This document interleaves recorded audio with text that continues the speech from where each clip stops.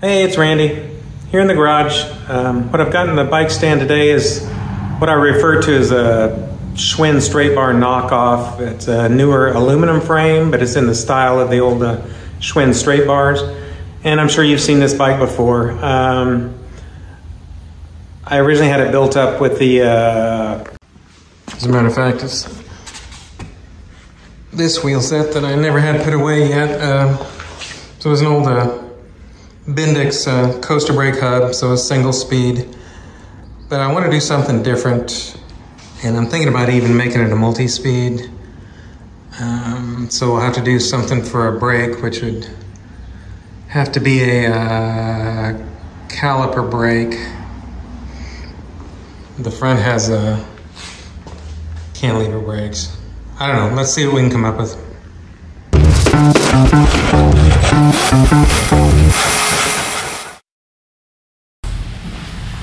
Okay, here I just said I wanted to do a multi-speed, but I am curious to what these uh, yellow uh, coaster brake wheel set looks like on there.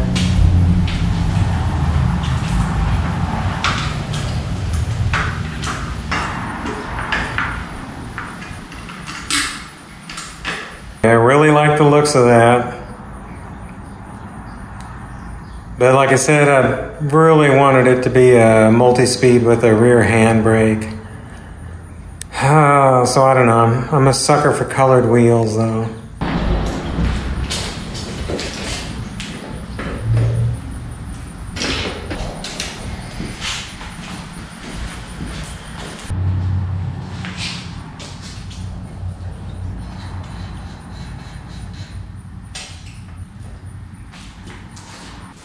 Okay, I think this wheel, this rim is distracting me here.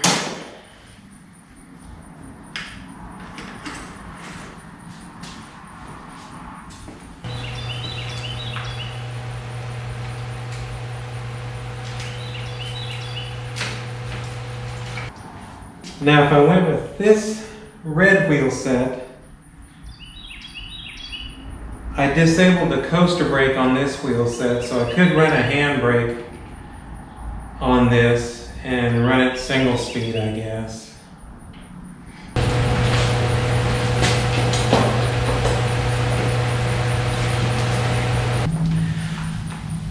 Okay, I really want to go the multi-speed route. Um, it'd be too easy just to slap another coaster brake wheel set on here.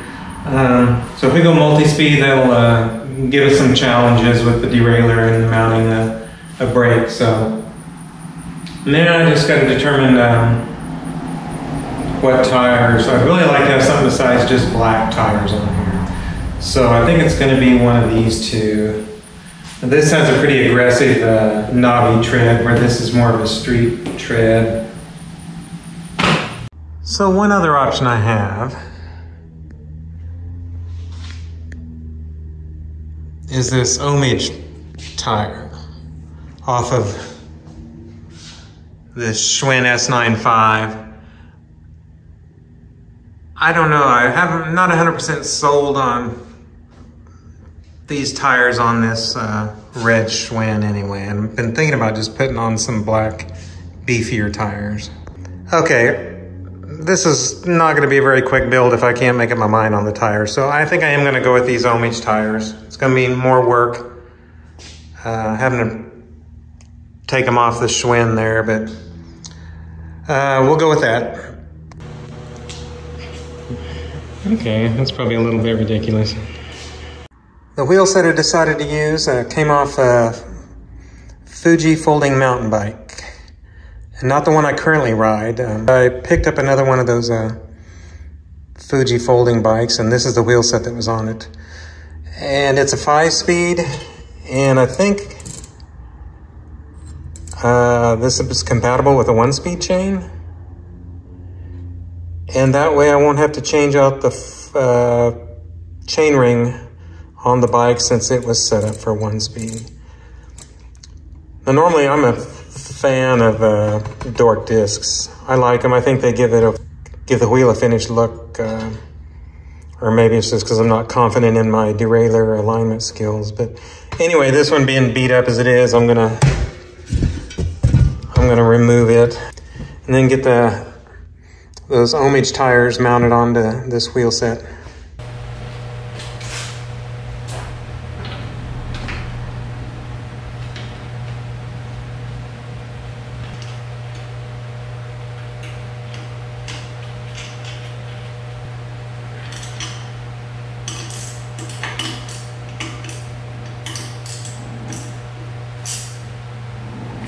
So this will be our uh, wheel and tire combo. For now, anyway. I can always change the tires out, I guess, if, uh, if I don't like this. Uh, next up, maybe we'll work on a rear brake.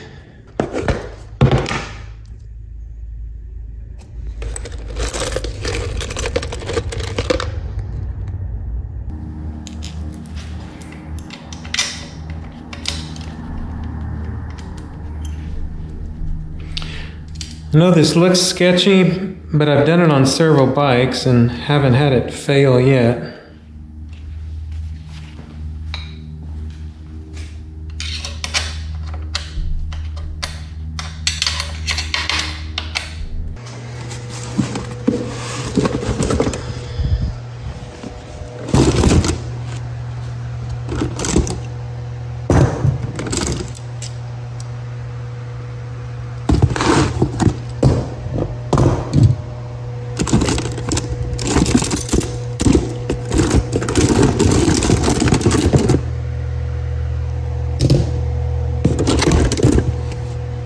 This is a front brake, so it's got a really long bolt.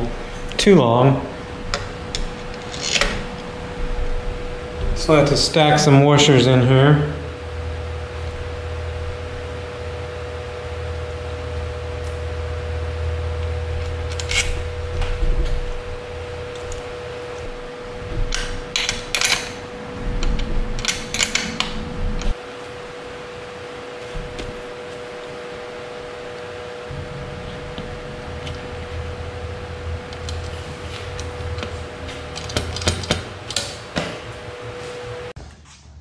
I think we'll work on the derailleur next.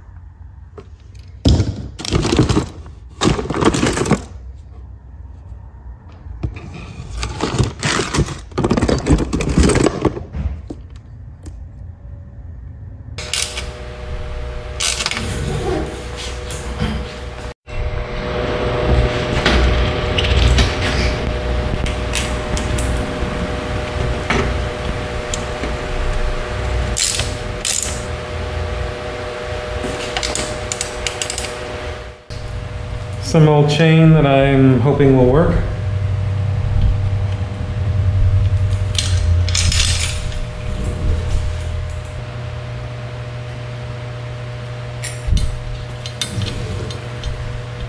I've narrowed it down to three stems.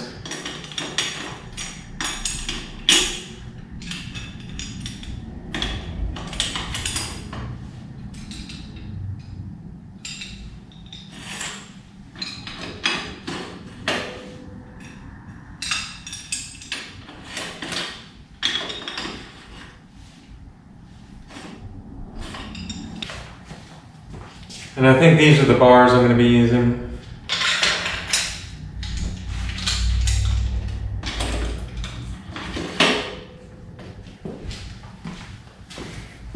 I really don't like any of them, I think just for kicks I'm going to paint this blue to match the frame.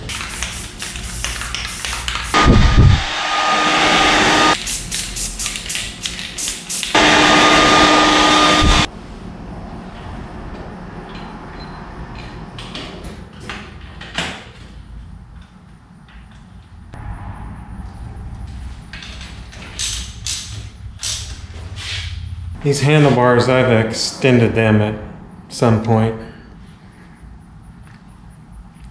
Put a sleeve in there, or a shim, shim in there, and uh, used a JB Weld to hold it together.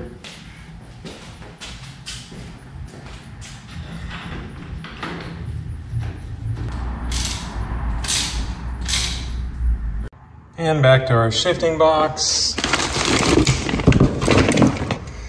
for a shifter.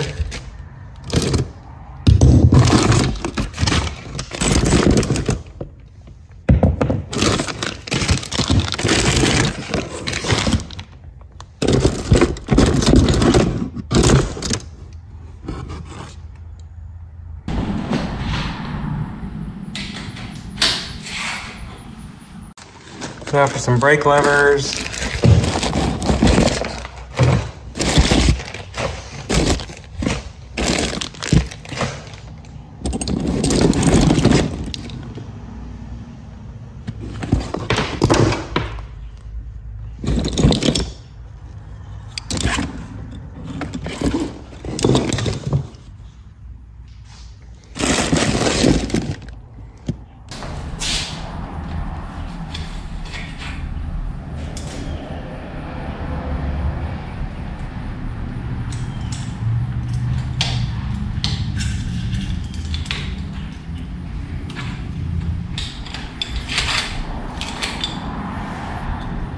Okay, get some grips so I know where to space these and get them clamped down.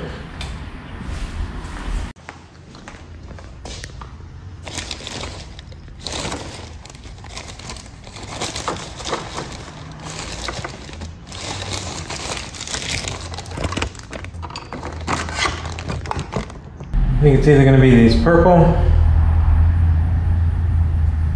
or the orange.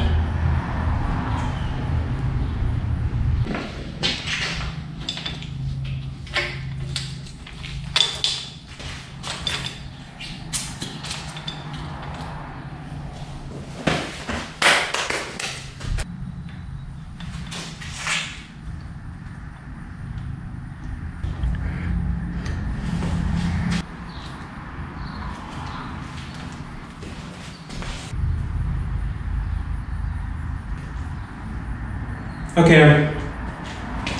Okay, I'm gonna get this all cabled up, the derailleur and the brakes. I'll spare you from watching that. And I'll check back in when I'm done. So it's the next day. I got too hot and tired last night messing with this.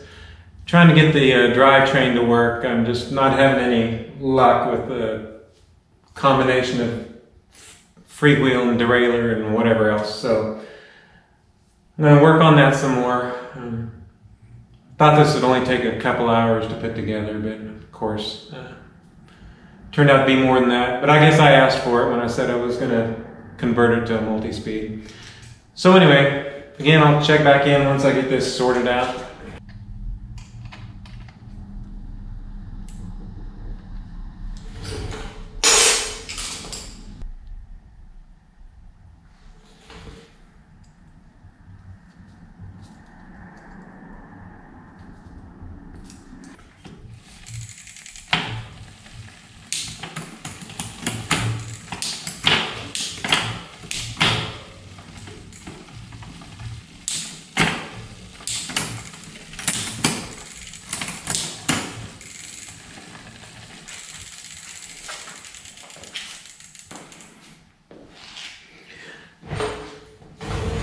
Okay, I think I finally got the combination of everything that works.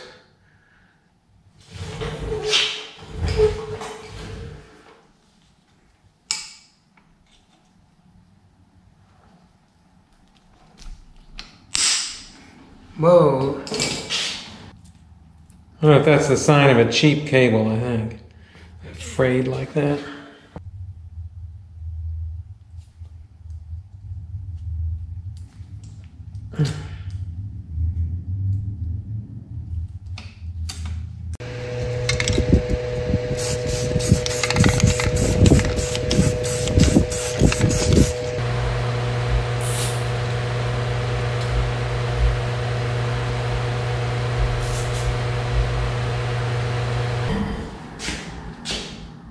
Okay, now on to pedals and a saddle. And I think that's it. So these are our pedal choices in 9 16ths.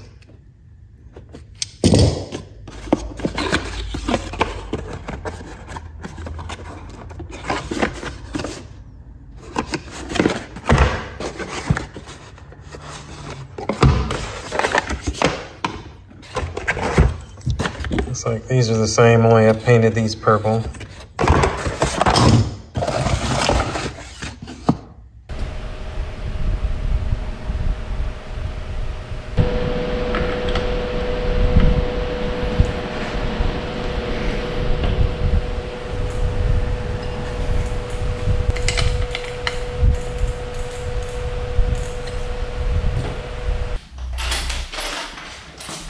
Saddles.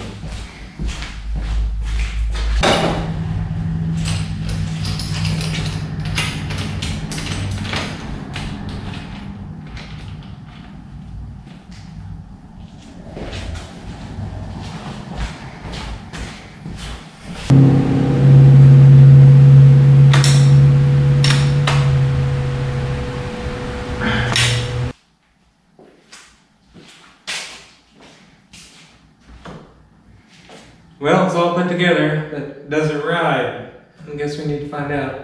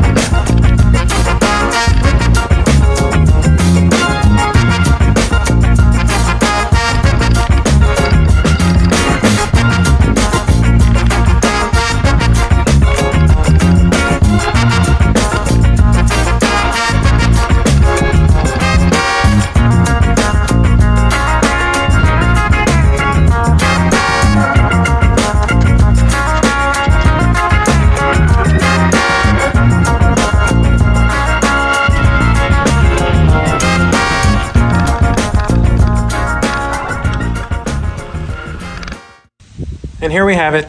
Um, so I've rode it a couple times now, probably 15 or so miles. Um, and I'm liking it. It rides pretty good. Um, shifts shifts good, brakes well enough, doesn't rattle or squeak, which is odd for one of my bikes. Um, the only thing I might change on it is the stem handlebar setup. It's not the most, uh, the bars are just a little too straight and, and not comfortable. Um, let's go over it and uh, recap what it is that, uh, that I did. It's an aluminum frame I purchased many years ago off the internet. I don't know any more about it than that. It's in the style of the old Schwinn straight bar frames. Uh, the fork, uh, chromoly fork that I put on there, it's uh, the bike does have an inch and an eighth uh, head tube.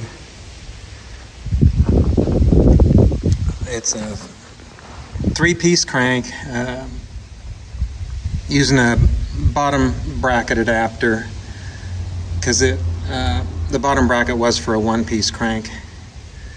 So whatever this chainring is, and I don't even know the teeth on it, and unknown crank arms that I've painted black. I can see some purple through there, so they were originally purple.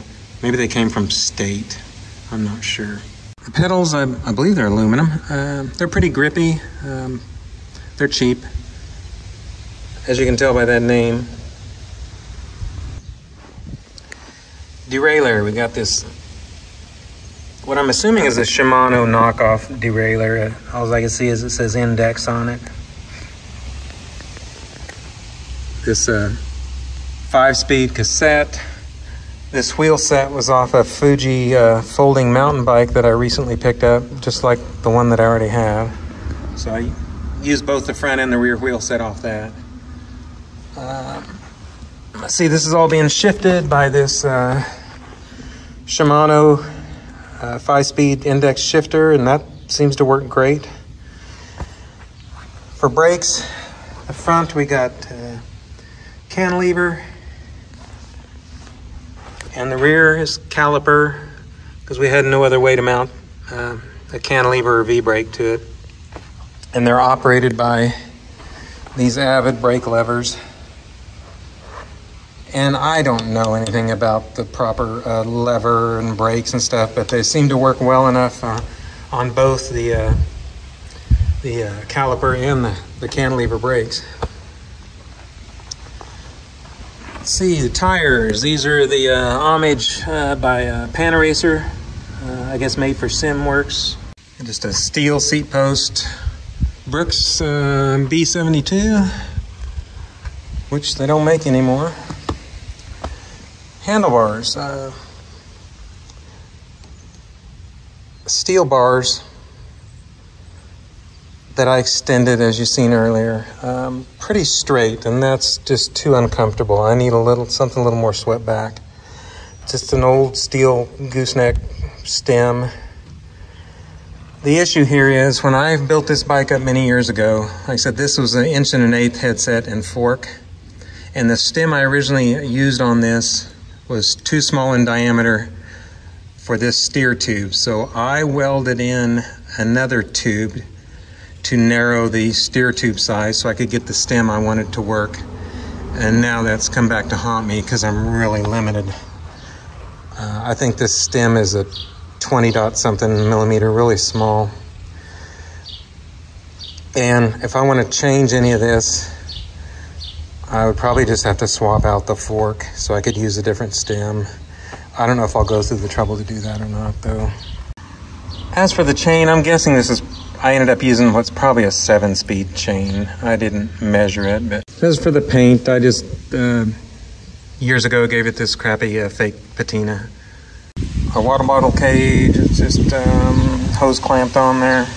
So there's a couple other things I'd like to take care of. I think I'm going to put some of the blue paint back on over some of this.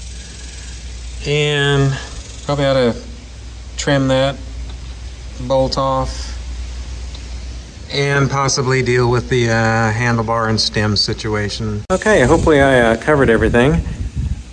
Oh, I just now notice I am I am soaking in sweat. It's like triple digit heat here this week. Anyway, as always, thanks for uh, hanging out with me, and I'll see you in the next video.